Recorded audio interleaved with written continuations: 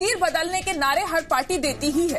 लेकिन एमपी में पहली बार खुल्लम खुल्ला नारा लगा है बूथ जिताओ नौकरी पाओ। चुनावी जोश कुछ ऐसा था कि मध्य प्रदेश के कानून मंत्री पीसी शर्मा खुद ही भूल गए कि चुनाव आचार संहिता के लपेटे में आ सकते हैं। भोपाल में दिग्विजय सिंह के लिए वोट मांगने के जुनून में पीसी शर्मा ने कांग्रेस कार्यकर्ताओं को खुला ऑफ़र कर दिया कि बूथ जिताओ और नौकरी पाओ। हमारे दो सौ चौरासी बूथ हैं। एक एक बूथ के कार्यकर्ता की जो भी हमारे बूथ पे बैठ रहे हैं काम कर रहे हैं उन सभी कार्यकर्ताओं को नौकरी या व्यवसाय ये कैसे करेंगे? लेकिन करेंगे हम ये बात मान के चलिए पीसी शर्मा ने इसके बाद एक और सभा में यही वादा किया।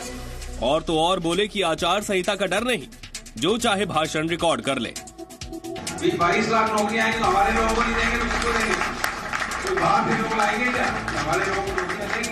अभी भी कह रहा हूँ मैं जो टीवी वाले जिनको रिकॉर्ड करना रिकॉर्ड कर इस बात को। बीजेपी ने पीसी शर्मा के बयान पर चुनाव आयोग से कार्रवाई की मांग कर दी है। बीजेपी ने कहा कांग्रेस सारे लालच देकर भी चुनाव हारेगी। मुझे लगता है वो नौकरी नहीं और भी कुछ बांटने की बात कहे तब भी लोग कांग्रेस को जिताने को तैयार नहीं है।